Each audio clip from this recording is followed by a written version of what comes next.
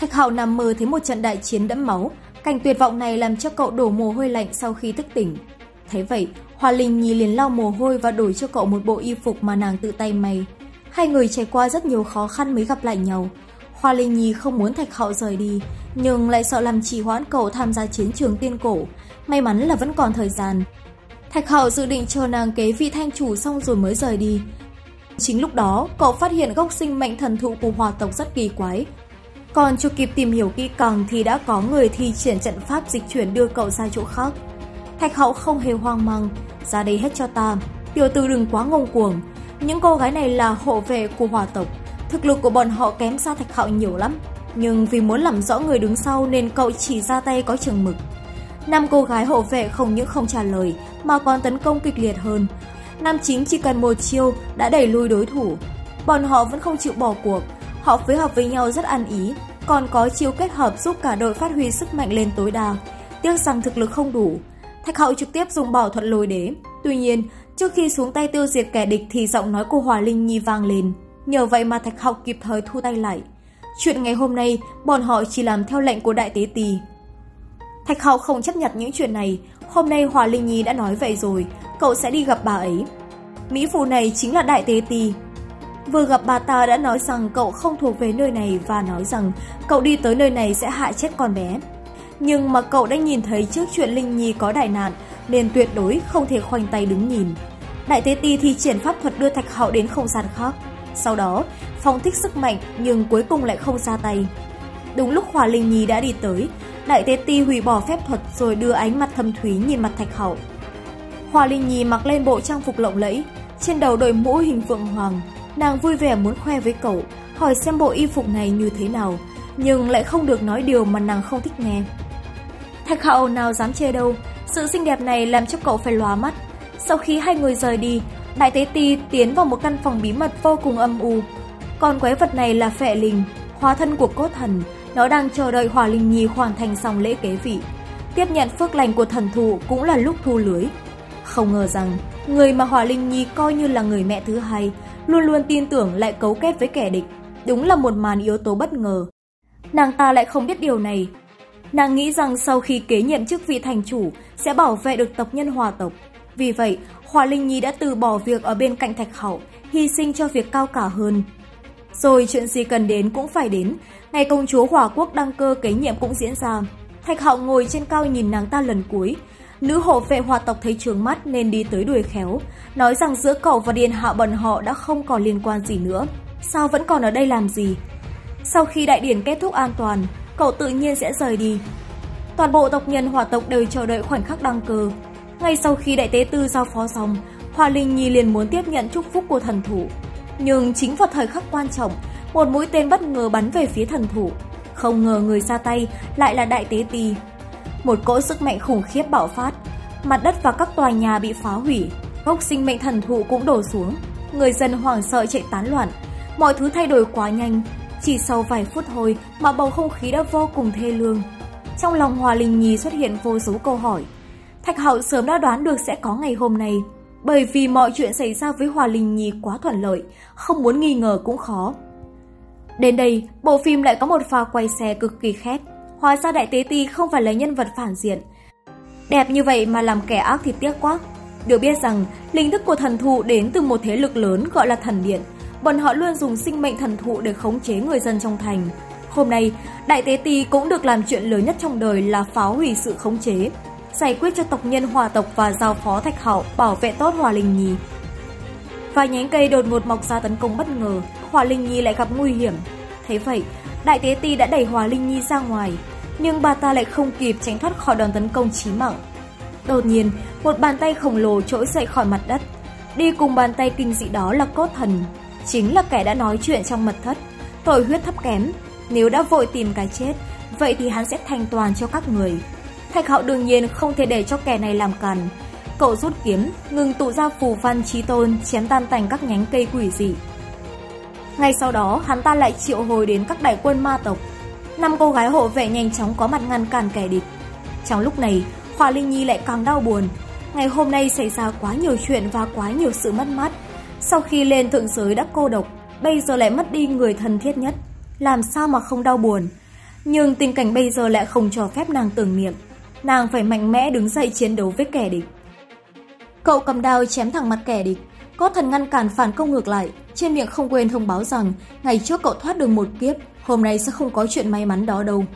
Cậu tặng cho một đấm khiến có thần học máu, bồi thêm một cú đấm khủng khiếp vào mặt. chiến tuyến khác, các nữ hộ vệ đang chiến đấu kịch liệt. Chặt chém kẻ địch như thái chuối, Hòa Linh Nhi cũng bạo phát sức mạnh Phượng Hoàng sáng xuống đầu đại quân ma tộc vô số quả cầu lửa. Có thần ngăn cản được cú đá, sau khi bị ném bay ra xa, Thạch Hạo tiếp tục xông đến, vung kiếm chém nhưng lại bị ngăn cản. Cậu bắt buộc phải dùng đến tuyệt chiêu ngưng tụ sức mạnh sầm xét, chém cho cốt thần bay ra xa. Hắn ta phóng to vũ khí lên vài trăm lần rồi điều khiển nó đâm xuống. Thạch Hạo phá hủy dễ dàng, hai bên lao vào nhau chiến đấu, ăn miếng trả miếng liên tục. Cậu ta vừa bón hành vào mặt kẻ địch thì vài giây sau, kẻ địch đã có màn đáp trả lại. Hắn ta phân tách vũ khí thành nhiều phần rồi tiến hành khống chế Thạch Hạo lại một chỗ. Sau đó sử dụng chiêu điều khiển đồ vật từ xa. Điều khiển vô số đất đá xung quanh bao bọc Thạch Hạo vào bên trong. Hắn ta còn chắc chắn đến mức đâm vô số mũi tên khổng lồ sắc nhọn vào cục đá. Tưởng rằng nam chính đã bị xiên cho nát người, anh ngờ cậu ta vẫn không sao. Cậu bạo phát lôi đế bảo thuật, phá hủy cục đá siêu to khổng lồ đang áp chế. Việc kế tiếp là sử dụng luân hồi bảo thuật trấn áp kẻ địch. Có thần bị trói hai tay hai chân không thể nhúc nhích. Thạch hạo ngưng tụ vô số phù văn đâm vào cơ thể cốt thần, tặng cho hắn một cái chết đau đớn. Phía Hòa Linh nhì cùng các nữ hộ vệ cũng đã dọn dẹp xong kẻ địch. Tuy nhiên, cốt thần vẫn chưa chết. Và chúng ta lại có màn đánh boss phase 2. Cơ thần được lột xác hoàn toàn, còn ngưng tụ ra một cái pháp tướng khổng lồ. Người khổng lồ mọc ra vài trăm cái gai sắc nhọn rồi phóng xuống bên dưới. Ly Hỏa Thành bị phá hoại nặng nề, lửa cháy khắp nơi, khổ nhất vẫn là người dân, bọn họ không có sức chống trả lại, chỉ có thể vừa bỏ chạy vừa cầu may không bị đánh trúng. Nữ hổ vệ vung trường thương định ngăn cản, nhưng còn chưa kịp thi triển sức mạnh thì đã bị đánh trọng thương. Chuyện nào khó đã có thạch hảo lo, cậu cầm kiếm xông lên chém cụt tay kẻ địch. Tuy nhiên, bàn tay bị chặt đứt lại nhanh chóng mọc ra như cũ. Xem ra phải tiêu diệt bản thể thì mới nhổ tận gốc được. Trên ngực người khổng lồ có một viên thủy tinh, thứ này liên kết với bản thể là điểm yếu của kẻ địch. Những người khác cùng nhau hợp sức tạo ra một cái kết giới bao bọc và trấn áp người khổng lồ. Hoa Linh Nhi thi triển bảo thuật chú tước phóng nhiều quả cầu lửa vào kẻ địch. Nhưng mà cơ thể pháp tướng lại quá cứng rắn, công kích không đánh bại được. Ngược lại còn làm cho kẻ địch điền tiết và phản công kịch liệt hơn. Hắn tạo ra vô số mũi tên sắc nhọn đâm về phía thạch hậu.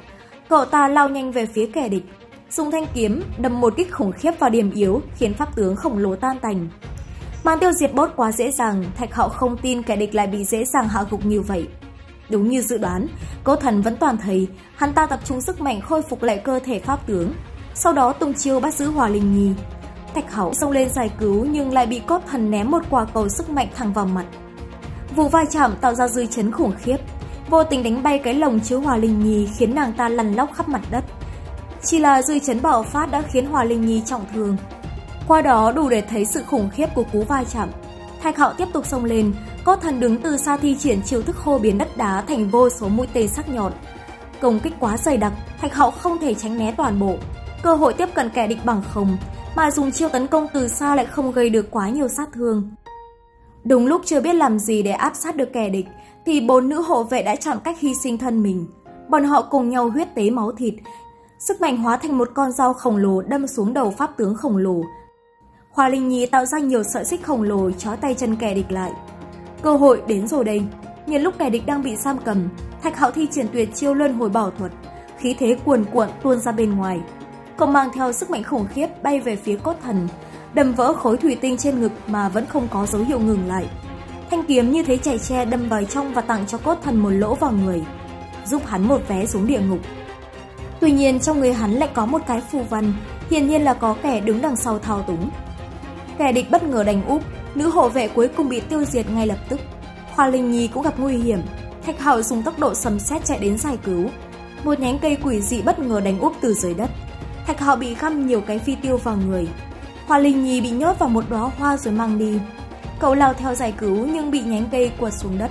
Sau khi vùng dậy thì đã chậm hơn một chút xíu. Hoa Linh Nhi đã bị bắt đi. Trước khi cánh cổng đóng lại, Thạch Hạo đã may mắn xông được vào bên trong. Phía đằng sau cánh cổng là một thế giới khác, một giọng nói uy hiếp vang lên. Nơi này không phải là chỗ mà người nên đến. Nhìn bóng dáng khổng lồ phía sau sương mù, ngỡ rằng kẻ địch phải khủng khiếp lắm. Chỉ không ngờ được là kẻ vừa mới uy hiếp, lại là một con thú nhỏ bé, đầu một sừng, vừa có lông vừa có vảy giống như rồng, bộ dáng cực kỳ dễ thương. Tên này đặc biệt đến gặp Thạch Hậu, còn cố tình tỏ vẻ thần bí, sẽ không tiết lộ quá nhiều bí mật, nhưng cuối cùng lại lỡ mồm tự khai ra toàn bộ. Hắn được gọi là đế thính, mọi chuyện liên quan đến Thạch Hậu và Hỏa Linh Nhi đều nắm rõ. Lần này đặc biệt vượt thời không đến trợ giúp, lúc hỏi ai nhờ vả thì không chịu nói, nhưng sau đó lại lỡ mồm tiết lộ ra liễu thần. Dưới sự chỉ dẫn của đế thính, Thạch Hậu cũng đến được sau huyệt của kẻ địch. Đây là một tòa cung điện quỷ dị, không gian xung quanh tràn ngập khí tức u ám. Bên trong cất chứa vô số cái kén, mỗi cái kén lại giam giữ tộc nhân hòa tộc, hấp thụ sức mạnh của bọn họ. Đây là biến người sống thành năng lượng để nuôi dưỡng ra vô số quái vật. Xem tới đây Thạch Hạo cũng đã hiểu rõ được hai chữ dược liệu trong lời nói của cốt thần là như thế nào. Đó là trực tiếp dùng cơ thể làm dược liệu, thủ đoạn quá tàn nhẫn. Tiếp tục tiến vào bên trong, Thạch Hạo đụng mặt kẻ chủ mưu, hắn ta ngồi hiên ngang trên ngai vàng của mình. Hắn gọi là huyết vương, tay sai của thần điện. Hoa Linh Nhi đang ở trong một cái kén, muốn cứu nàng thì trước tiên phải tiêu diệt được huyết vương, mà hắn cũng rất sẵn lòng, nhưng mà phải xem bản lĩnh của cậu như thế nào. Thạch Hạo nhiều lần tấn công nhưng đều bị ngăn cản. Sau lưng huyết vương có bốn cái xúc tu giống như những cái chân của tiến sĩ Bạch Tuộc, có thể co giãn tùy ý, cứng rắn vô cùng. Hai tay đấu với sáu tay, Thạch Hạo không chiếm được ưu thế, thậm chí còn bị đánh trọng thương. Trước khi ra tay tiêu diệt, hắn ta muốn cho cậu thấy được mục đích thực sự mà hắn đang bảo vệ. Hắn vung kiếm xé mở một khe hở không gian rồi bước qua.